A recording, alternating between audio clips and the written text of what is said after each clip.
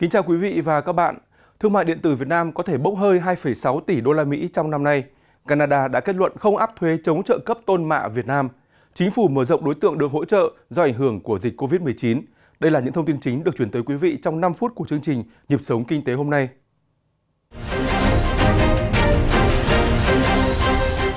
Theo báo cáo của Bộ Công Thương, trong kịch bản xấu nhất, quy mô thị trường thương mại điện tử Việt Nam có thể bị giảm tới 2,6 tỷ đô la Mỹ so với dự tính trước khi có dịch.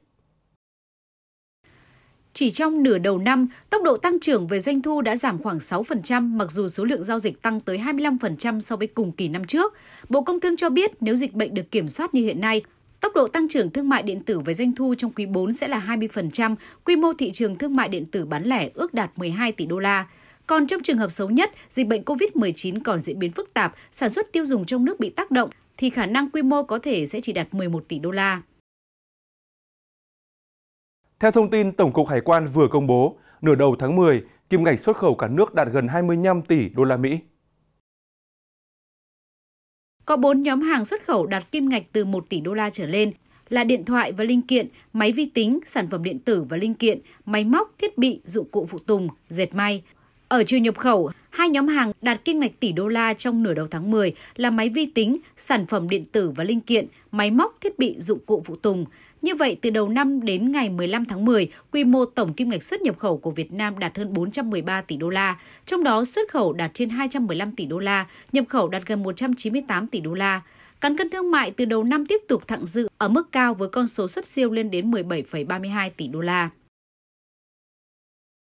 Canada vừa thông báo kết luận cuối cùng vụ việc điều tra chống bán phá giá, chống trợ cấp đối với thép chống ăn mòn, còn gọi là tôm mạ COR, nhập khẩu từ một số nước, trong đó có Việt Nam. Canada đã chính thức kết luận chính phủ Việt Nam không trợ cấp cho các doanh nghiệp sản xuất xuất khẩu thép COR, do đó sẽ không áp thuế chống trợ cấp với mặt hàng thép này nhập khẩu từ Việt Nam. Canada đã điều chỉnh giảm thuế chống bán phá giá cho các doanh nghiệp xuất khẩu tham gia hợp tác đầy đủ trong vụ việc có mức thuế chống bán phá giá giảm từ 36,3% đến 91,8% trong giai đoạn sơ bộ xuống còn 2,3% đến 16,2%. Theo báo cáo của các bộ, ngành địa phương tới Bộ Kế hoạch và Đầu tư, có tới 50% mục tiêu của Nghị quyết 35 về hỗ trợ và phát triển doanh nghiệp đến năm 2020 chưa đạt được, trong đó có mục tiêu đạt 1 triệu doanh nghiệp vào năm 2020. Hiện cả nước có 795.000 doanh nghiệp đang hoạt động, theo Bộ Kế hoạch và Đầu tư, để đạt 1 triệu doanh nghiệp hoạt động thì tốc độ tăng trưởng số doanh nghiệp hoạt động bình quân từ năm 2016 đến năm 2020 cần đạt 17,7%, nhưng tốc độ thực tế chỉ đạt 14,4%. Nguyên nhân do chính sách khuyến khích chuyển đổi hộ kinh doanh lên doanh nghiệp chưa đủ hấp dẫn, do đó kết quả chuyển đổi không như kỳ vọng. Chính phủ vừa ban hành nghị quyết số 154 sửa đổi, bổ sung nghị quyết số 42 về các biện pháp hỗ trợ người dân gặp khó khăn do đại dịch COVID-19 đối tượng hỗ trợ đã mở rộng cho người lao động tại cơ sở giáo dục dân lập, tư thục, cơ sở giáo dục công lập tự bảo đảm chi thường xuyên ở các cấp mầm non, mẫu giáo, tiểu học, trung học cơ sở, trung học phổ thông bị tạm hoãn thực hiện hợp đồng lao động, nghỉ việc không lương từ một tháng trở lên do đại dịch COVID-19. Mức hỗ trợ là 1 triệu 800 nghìn đồng một người một tháng. Nhờ ngăn chặn hiệu quả đại dịch COVID-19, Việt Nam được coi là một trong những điểm đến hàng đầu cho các công ty nước ngoài tái khởi động sản xuất – Hiện, giá thuê đất công nghiệp tại thành phố Hồ Chí Minh đang duy trì ở mức cao nhất cả nước, tăng 9,4% so với cùng kỳ năm trước.